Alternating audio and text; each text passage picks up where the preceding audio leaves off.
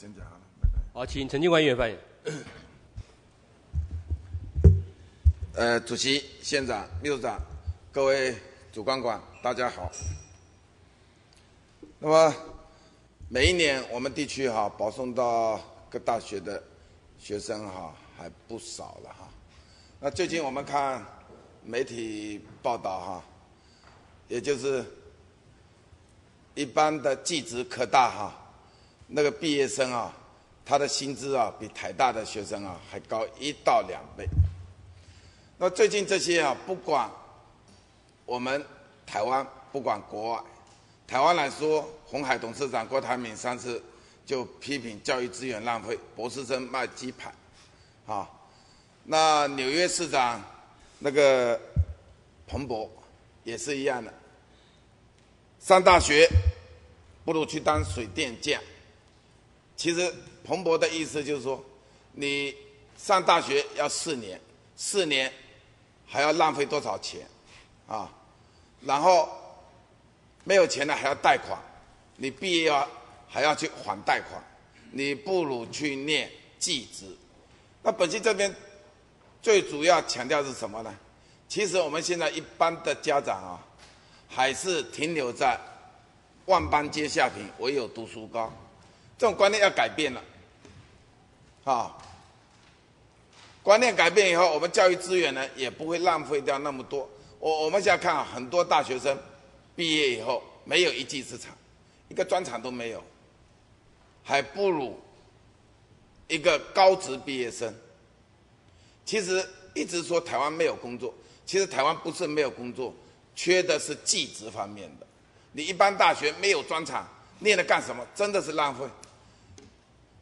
连美国纽约这个市长彭博都都有这种啊感慨，所以我们这个在教育部门啊，在这方面应该也要做宣导，不是读书无用论，而是教育资源的浪费，也浪费了他自己的时间，浪费了他自己的金钱。我想就这方面，我请教一下我们邱局长，你的看法怎么样？请。主席才是由我们邱邱局长做说明，请教育局邱局长答复。主席啊，谢谢呃监管员的关心啊。我想呃这个议题哈是现在其实是很最重要的议题。最近都一直在谈这些，而且呢，现在整个我们国内的环境啊，已经呃可以啊呃走向呃来。全力的来来推动那个继子的。那我们县里面的做法，我这边给您做一个报告，就是我们呃希望把每一个孩子，把我们县里面每一个孩子都带起来，这是我们的教育目标。那我们呃有关于继子的部分哦，我跟您报告一下，最最近有一个做法，我们准备明天我们开一个呃继子教育国中啊记忆教育成果发表发表会，啊这个这个发表。会里面哈有国商哈国商现在做技职尝试的同学，他把呃上一年的呃技职体验课程的呃成果在明天发表。那同时呢，我们会邀请，我们已经邀请国二的学生，就是呃暑假过后就要升国三了嘛，来国二的学生跟学生家长，还有国三正在上技职体验课程的学生的家长，一起来参加明天的成果发表会。那成果发表会里面，我们会有一些资料，还有一些呃呃观念的宣传啊，给呃孩子的，给孩子以及孩子的呃呃家长。我们希望说，让孩子知道说，哦，现在这个呃这个社会已经渐渐转型了。其次，我们在马祖高中的保送名额里面啊，当然我们保送技职院校的那个学生。大概每一年哦，也都有哦，将近呃三十几个、四十个保送科大的，所以在马祖哈这一块，其实是现在要做的就是对家长观念的一个一个呃宣导。啊，学生呃的出路的部分，还有学生的呃继职倾向的体验这个部分，我们都已经很很畅通了。啊，就是家长只要家长认可，大概这个都没有问题。这个当然是未来孩子哈，未来孩子行行出状元哈，行行出状元，这是一定是呃走未来一定是走这样子的呃方向。同时，国内环境已经成熟了。其实我们最主要不要让教育资源浪费了。对。其实前一阵子，呃，媒体又去访问那个博士在卖鸡排那个嘛。对。再再回头，他还要念博士，他不要了嘛。其实就是因为没有工作，才又继续念研究所。对，现在很多家很多孩子是这样。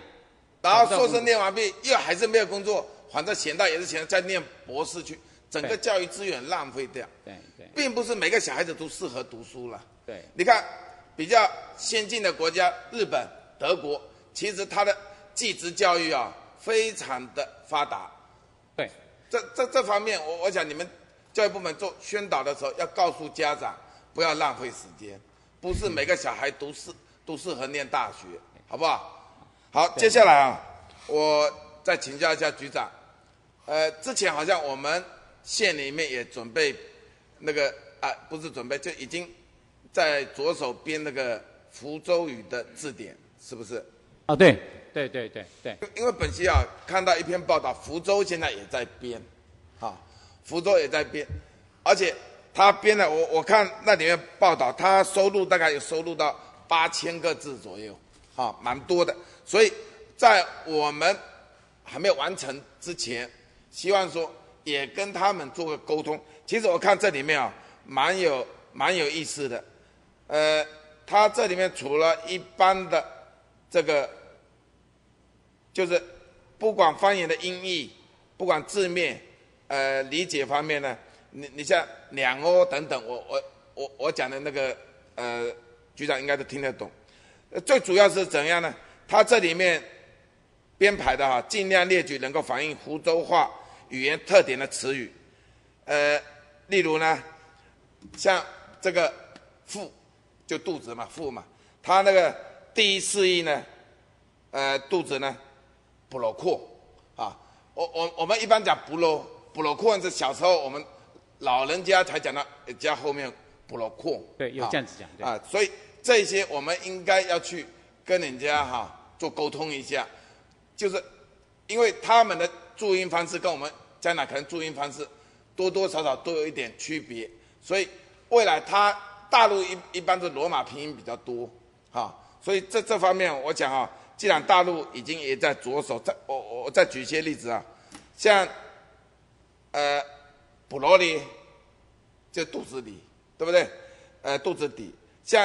第二释义里面呢，与肚子相关的，呃，肠胃内脏，像这个不动，就肠子嘛，啊，呃，像肚脐，他讲不在，哈，像呃内脏讲不抖，哈，我我想这这些我们看了以后，至少这些我所观察，我所看到，我们这几年马祖虽然一直在推广，像这方面呢，哈，好像比较欠缺一点。也就比较通俗的这些，比较欠缺一点。那福州他要编这个，编这个，他把这些都考虑在内。所以这方面呢，我我不知道局长你的看法怎么样？啊，谢谢啊，谢谢呃议员的关心啊。我们的编福州语字典这个部分啊，其实福州那边也知道。然后福州现在觉得说，我们好像做的比他更更前面。那其实我们的查阅的方式啊，是现在是比福州好。福州现在正在做的福州好。那内容的部分啊，刚刚您所讲的那些内容，当然我们是字典里面都有，只是说我们在学校推母语的时候，比较倾向于用歌谣啊什么哈，比较你刚刚讲的这些生活基本日常用语比较少。啊，比较少。当然，这是要要强化的。我一直强调，我们母母语的教学不一定要用英语教学的模式，因为马祖有母语的环境，我觉得可以做调整。我每次啊，都跟学校的呃母语老师做这样子的一个呃宣导。另外就是我们的母语的词典，目前我们的几乎都已经呃完整完成了，那只是没有印出来。那我的想法里面，应该先用哈，先用呃。电子书的那种不是，先用云端的云端的方式哦，先放在网络上，先让大家用，先然后发现问题什么，再随时就修正。我不希望这么早就印成书，因为字典呢是很厚的，啊，我所以我我们是希望说，我们在今年里面就跟教育部来来申请说，我们就跟呃就是中华汉学呃字典那样子的一个概念啊，就是有现在有编了一本两岸的那个共两岸用词的那个字典，那也是云端的字典。那我想我们马祖福州话这个我们也走也走云端字典这样子的一个概念，先先开放，然后呃让大家来来使用。使用经过多少年以后觉得稳定了，我们是不是再看到时候再看要不要印成书面？刚好那个愿这一段时间就局长所谓放在云端，让大家来提供意见。对对对对对。好，也刚好趁着这一段时间，我们看大陆那边变化怎么样？对对，至少要编的就编完整一点。对对。不要以后再花钱再编。对对对。那这个部分，我希望呃。局长稍微注意一下，好不好？不要等以后。我们很关注这个议题。OK。大陆也很关注，大陆也很。因为之前我记得前两年，王建华校长打电话，我人在大陆，我在福州，他叫我去买，我整个福州大大小小书店都跑过去，最后在那在五一广场对面那个雨山堂的底下，那个书店很不起眼，我跑最大书局好像没有，那个书局只有那么一百零一本。结果答我答应他，我不好意思，我跟我太太一起去买。我太太说这个很好哎，呃，可以留到参考。我说我答应王建华校长这一本就送给他，至少他可以，呃，他还没退休。我说我们已经退休了，给他来做推广啊，应该很不错的。对对对。呃，接下来我请教一下局长，就是教育部明年要推这个交换教师，也就是教育部为了减少学校。和老师文化停滞的这种现象啊，也就老师可以甲校跟乙校老师一个学期或者一个学年，老师没有调动，只只只是做交换哎，时间一个学期到这个事情，局长了解多少？呃，这个事情啊，就是教育部在上一次有一个会议里面啊，初步提出这样子的概念。其实这个概念啊，我们县里面啊。我们县里面大概前前几年曾经有尝试过，但是呃，我想，呃，这个有难度，对不对？我想您比较了，你一定是很了解我们教育界的内部。但是他明年，我看报道，明年八月就开始推了。教育部有这样的构想。其实当时提出这个呃做法呃这个构想的时候，很多我们很多县市的教育局处长都有跟教育部的承办人来讲，其实还有很多困难要克服，还有很多困难，包含老师。包含老师，因为有压力，对不对？老师一定会。其实有的时候啊，少许的压力啊，也会进步的动力。对，没错。哈，是是。本席在这边一一再强调，其实像我们县政府，还有我们乡村干部等等，本席以前一再建议，也就是说，类似像这种交换啊，我们跟台北市。或者新北市或者基隆市都可以呀，因为我们公务员长期在马祖，你没有到外面，没有看到人家到底怎么样嘛。我说你至少到那边，你像到台北市乡公所跟区公所做交流嘛，你到那至少看一看，也知道人家是怎么样怎么样为我们啊乡亲来做服，为为我们的啊乡亲怎么样那种态度哈，最主要是态度了。我我们现在最主要是态度的问题，那。老师的部分，我想啊，再困难，其实也没有帮助，对老师多少有帮助。当然，老师最好不要啊。本溪很了解，老师最好不要嘛，因为你到到了其他学校，他压力就大了嘛。因为你你他这个时候呢，到了对方学校以后呢，有的时候比较人生地不熟一点，他也不敢说太马虎，所以他压力就变大了。其实本溪觉得啊，这个。慢慢推，从从这个有意愿的老师先开始推嘛。那当然，我们也不尽然说一定要整个学期或者初期的话，一一个月可不可以？可以啊，以十周也可以啊。对，其实都可以，对不对？以五周也可以啊。对，就类似短期的那种，也一样的。至少从短期开始推，这些老师慢慢慢慢就会习惯了，好不好？好好，我们这个会配合教育部的政策来来做。那另外哈。呃，本期想了解的，就是幼儿园啊，去年八月要开始了嘛哈。像目前二到三岁公立的，应该只有东影跟举光嘛，对不对？对对。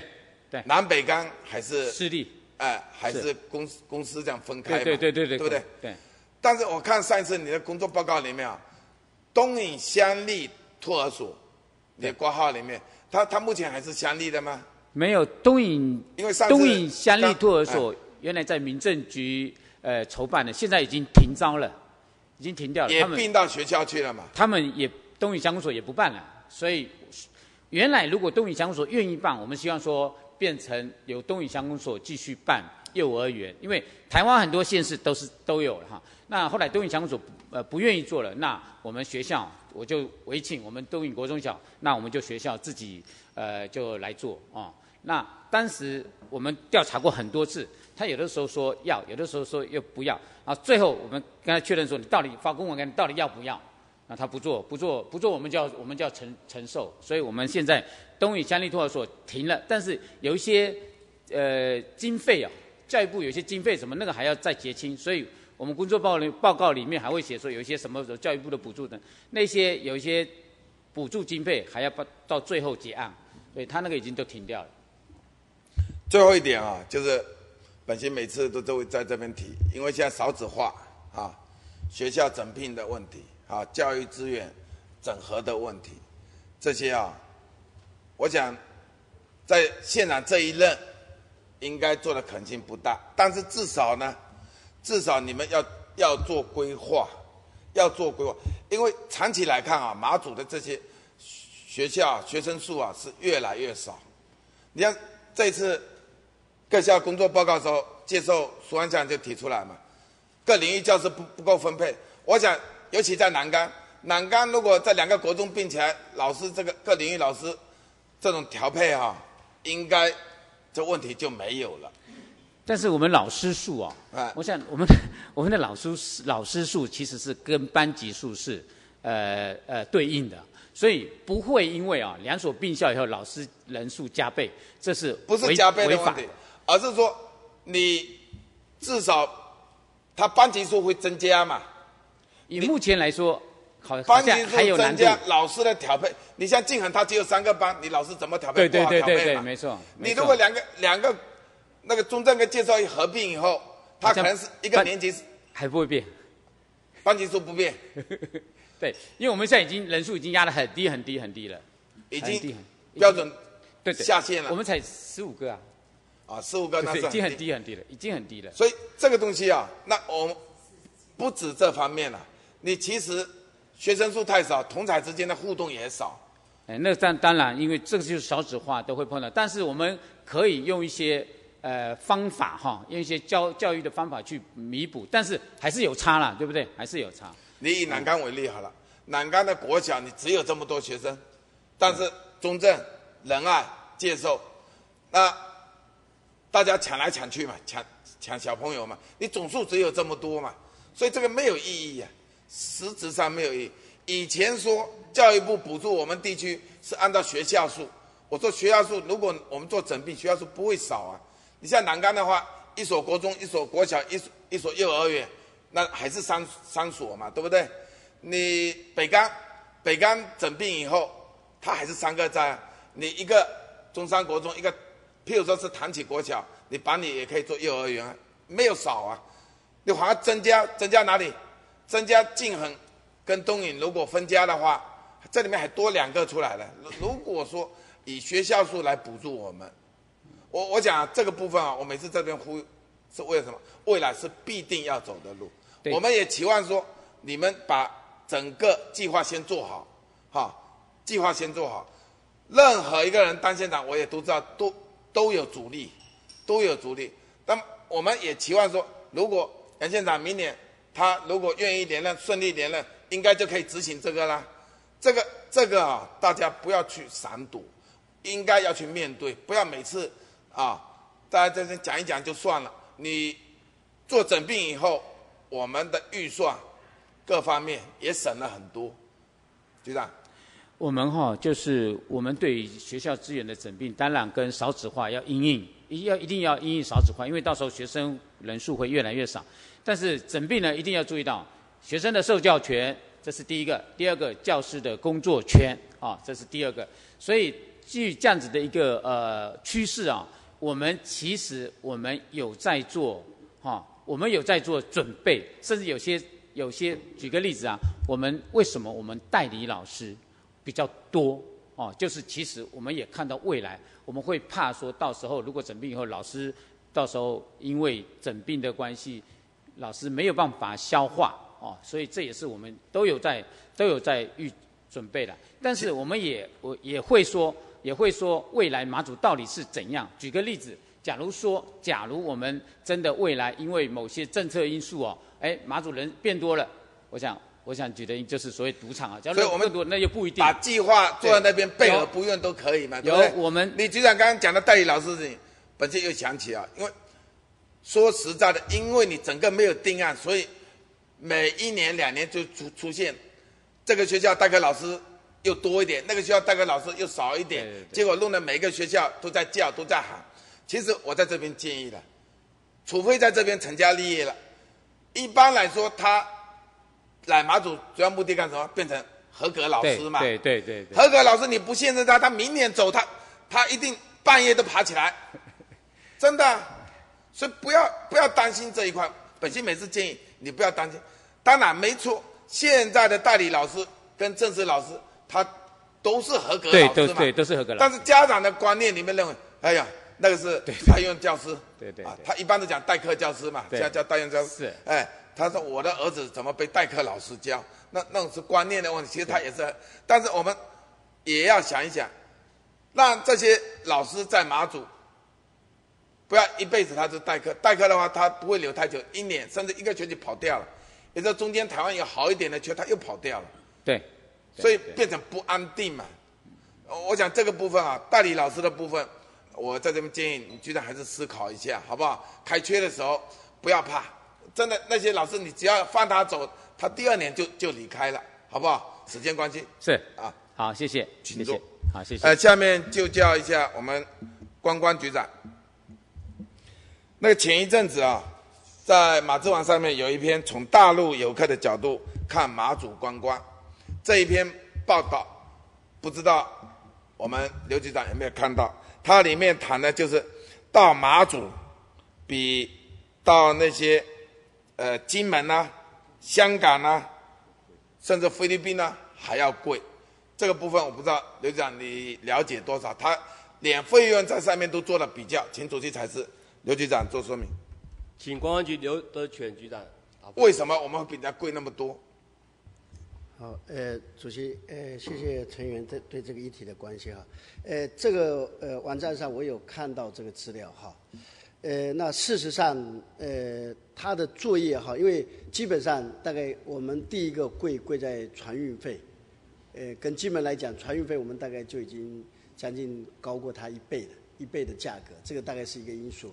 那因为我们现在现阶段呢、特别是自由行的部分哈，它的便捷性啊，可能也大陆过来也不像呃金门的呃那么你一。天一班，他们感觉不方便，这变成二群船。第二个费用船船费太高，所以我们如何跟人家竞争？你有想到吗？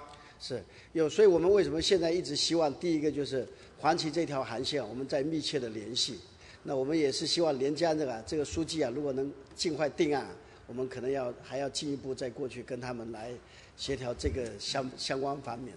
那这里面呢，另外一个还是有政策上的问题哈，就是说福州的办证相关的便捷性跟厦门之间的落差还是非常非常的大。那是另外一个层面的问，题。另外一个位置，因为我们现在有考虑特呃，特别是像相关的呃淡季的，是希望呃大陆也能够过来，因为旺季目前我们台湾的旅客啊，大概把我们这边的住宿啊，这各方面啊，大概都已经需求基本的需求够。那现在我们就希望呃能够办证的手续的部分怎么便捷，然后第二个就是刚刚讲配合黄旗这条航线啊，如果能够尽快的开开通。这两个可能是我们在处理大呃大陆相关观光客源的现阶段可能努力的一个一个方向。好，那我我想啊，黄旗这个航线哈、本席啊，就算开放也不乐观。以我们业者这种啊，如果说船费哈、还是那么高的话哈、真的没有竞争力。呃，黄旗如果下来，我推估这个费用可能还比金门应该不你按里程本来就应该比金门低呀、对对对，对不对？应该正常。本心是担，心的，他们哈、那种观念哈、真的太短浅。我每次在这边提我们那个乡亲林国宏，他每次自己也很感慨，他都是股东，他说我的股东哈、眼光短浅，最好一次就捞到，一次就捞回来，不可能吧？做生意薄利多销，对不对？所以那种观观念要改变过来啊！你现在为为什么小长中越来人越少，恶性循环，一一天一班，甚至去的话，现在只要气象报道能够不开，就停航了，就是这样子啊。所以大大家都很抱怨啊，那种啊，好像一天亏本都不行的，都不能亏，每天都要赚，就就是那种心态。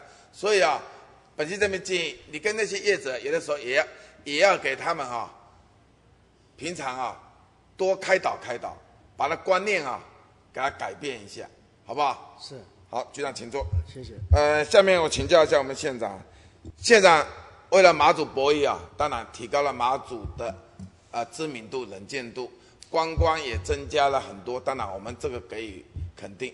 但是呢，本席所担心的，三天两头几天，我们看报道，大陆就说，如果马祖开赌啊，我们就不让这个我们的旅客去马祖。呃，还有呢，最近立法院也是一样，那个报道说立立法委员想变法啊，把那个博弈法那个离岛的啊、大概变全国通用的啊。另外，大概明年明年初，澎湖也开始第二次公投了。如果他们公投过，是不是也是啊、变数之一？我想就这个部分啊、请主席采示啊，有我们现场做个说明。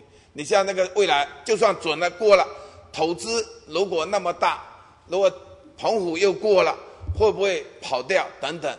请现场做个说明，好不好？好，请现场答复。呃，谢谢陈云的指教跟关心。我想哈，呃，这个问题哈，可以从几个层面来看。首先，我们现在大陆啊，其实呃，台湾中华民国政府并不是因为说大陆说了什么，他就做什么或者不做什么，这是第一个。呃，我们的确注意到，呃，但是我很我们很详细看一下大陆他们所发表的内容，哦，他所有的文字是这样子。呃，我们希望台湾有关方面从维护两岸旅游交流合作大局角度出发，审慎处理此事。若该案通过，马祖开赌势必影响两岸正常的旅游交交流合作，我们将不得不采取措施，限制大陆居民前往相关地区旅游。呃，相关地区是什么？这里面有很大的空间，我觉得这个是政治术语。整个国际观光度假区只有百分之五跟赌博有关系，百分之九十五跟赌博都没有关系。呃，我们这样子想哦，如果马祖我们没有争取博弈，我们只争取观光旅游，我们只争取观光旅游，他会他会不会反对？他没有理由反对。也就是说，百分之九十五他都没有有反对，百分之九十五都是他反对的。我们把百分之九十五的地方做个区隔，大陆人来，因为大陆政府不准去赌博，所以百分之五的地方你不要进去，百分之九十五的地方欢迎你来。这但是现在问题，所有的报道百分之五把百分之九十五盖过去了，呃，我我我想这样子哈，哎，如果没有百分之五，就没有人愿意投资那百分之九十五。没错，这个是不得不的选择。呃，我想，这个我个人不喜欢赌，很多马祖乡亲也不喜欢赌，但是呢，我们多数的马祖乡亲做的做了这样子的决定，啊，做了这样子的决定，这个是借着博弈这个议题，好、我们做这样的选择来突破我们的困境，这是不得不的选举选择。呃，一个大陆方面，我刚才讲了，好、其实世界上有一百四十几个国家，它都有开赌，大陆并没有禁止，哦，也无从禁止。第二个，呃，就大陆来讲，它的特区澳门，它开放赌博，它大陆也没有禁止。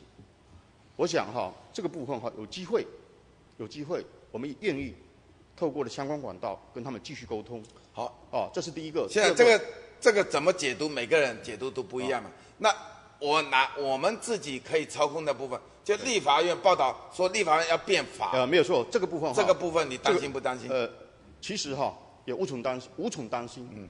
呃，开始我们就已经知道了这个，但是我们没有选择。第一个在法上面。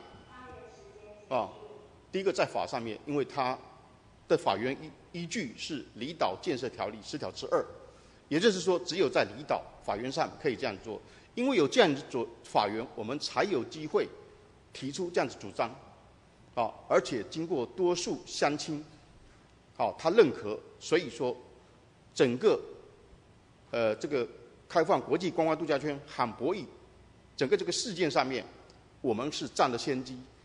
台湾的立法委员为什么要抢？因为这个商机很大。台湾第一个，如果说共识够，它有可能进去，有可能进去。但是呢，我想在时间点上面，我们从整个政治上生态上面来来来讲，马祖的立委在一百多个立委里面只占一席。我们大概没有办法全面去影响。对，这也是本心担心。陈立伟虽然体型很大，呃，但是他只有一票。呃，但呃但是他的影响力绝对不止一票了哈。啊，这样子我要讲这样讲哈。第一个，台湾要建立共识，啊，他要建立共识很难，这是第一个。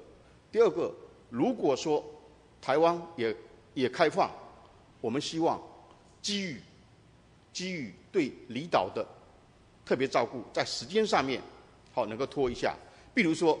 第一张证照跟第二张之间要做个区隔，比如说五年、三年、五年，我们只要机场盖好以后有没有博弈，其实那个不重要。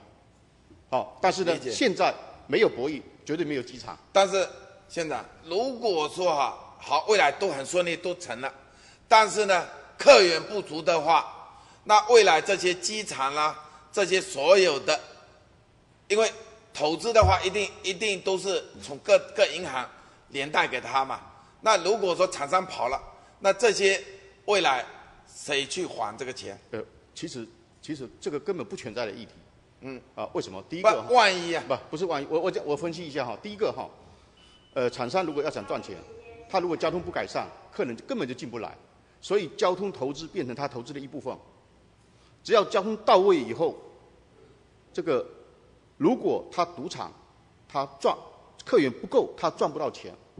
我们还有观光客啊，这个观光客只要交通改善以后，我们光是吃观光客的这个生意，这个饭就吃不完了。本本期是担心说他绕跑了，那所有贷款，银行跟法院要求查封，查封以后要我们来来还的，那还不不得了了。跟我们跟我们一点关系都没有。银行是贷给他，我们不是连带保证人，我们只是提供土地处分。那银行要接收机场怎么办？啊。这些都接受了。那个那个哈，我们采取的将来，我想地上权设定，啊，地上权设定。这本期这边提醒，因为时间关系啊，呃，我我想另外请呃现场简单答：澎湖如果明年初也通过的话怎么办？呃，同样的，呃，其实我刚才已经做了适适当的答复哈。嗯。澎湖也好，基门也好，以现有离岛建设条例不能把他们排除，但是我们希望中央政府最少在第一张牌，如果是我们得到的。因为我们的基础建设，特别是机场，我们跟澎湖、跟金门都有一段距离，最少让我把机场盖好以后，它再核准第二章，这样子的话，对我们相对才有保障。好，主席，再借一下时间，我把陈军议员的时间借一点过来哈。啊，因为之前陈军议员跟我说，他说：“建光大哥，我的时间你尽量讲，我也不好意思尽量讲，尽量讲占太多。”我想，其实。因为博弈这个议题，让马祖能见度都提高非常多，观光客也增加很多，所以本期啊，在这边建议县长呢，相关局势每一年办了很多活动啊，有一些活动要做检讨了，有一些活动不必花那么花那么多的钱了啊，因为现在观光客啊，只是交通的问题了。其实你真正客源真的很多了，所以我们要不要再办那么多的活动？我我不知道现在你你对本期这种看法怎么样？呃，我想是这样子啊，呃，有一些活动你不能量化啊，但是呢，它对整体观光的这个成效是有的啊。我想我们目前大家进来是一种集体的成绩，能够让马祖曝光度增加的，不是只有博弈这个议题。好，呃，我杨某人也不是只会赌，但是像李小石、李小石、像亮导人，这些都可以帮马祖搬上国际的台面。哦，特别是，比如说去年，哦前年，我们国际友人来到这边，透过永鹏帮外交使节团，把整个马祖的知名度往上炒。当然，博弈是个关键，但是我讲哈，不能因为说因为博弈，你有了其他的不要，其实不是，好，所以说每一个局势，他们所扮演的角色，有的，哦，有的是主菜，有的是味素，哦，有的是配菜，哦，有的是增加花色，所以不能因为说哦，他这个角色扮演不重要，哦，就说他可以拿掉，因为拿掉以后会有一些实际上也可以做检讨了，可以检讨，因为有一些当初是为了吸引。吸引这些观光客来我们而办的活动，现在已经很多。像刚刚现场你提到亮导人，那本期不知道说未来亮岛人你做怎么样的展示？是在亮岛展示，还是复制品在在南北干这边有没有构想？呃，我想亮亮岛人哈，在整个南岛语族迁徙的过程里面，扮演一个非常重要的角色。目前我们的亮岛一号、二号，它的立腺体 DNA 成功的萃取分析之后。我们大概把人类南岛语族迁徙史上最缺的一块，把这块补起来了。这个在国际上将来它所占的地位非常重要。呃，我们现有的民俗文物馆也因应这样子做了局部整修，来增加它的展览内容。我个人的看法，呃，亮岛它是一个未开发地，对很多考古的历史学者、观光的这些人来讲，好。呃，它是听得到、到不了的地方。将来如果说我们在现地，哦，也可以保存参观、限量，呃，对整个我们地区文化的高度跟内涵来讲，它有绝对、绝对的。那在我们民俗文物馆，可不可以用复制品做展示？呃，其实民俗文物馆哈，除了人人像。嗯，是用复制的以外，因为那个把骨头摆在那边展览，毕竟不是不是那么好。对。而且现在已经在进行中，嗯，相关的设施有的已经做好了。嗯嗯。好，呃，我我想民俗博物馆一定，因为并不是说以后就算亮岛开放，也不是所有人都能够去，所以民俗文物馆还是它的重点。那将来，啊，将来亮岛能不能做？因为这里面牵涉到很多，包括国防部，包括文化部，啊，甚至于说，我们想做一个能源绿色能源示范的。啊一个点，这个又牵涉到经济部能源局，是一个是一个比较呃复杂的议题。但是呢，我想也可以借着这个议题，让更多人了解马祖，了解亮岛，了解亮导人。好，谢谢先生，先生请坐。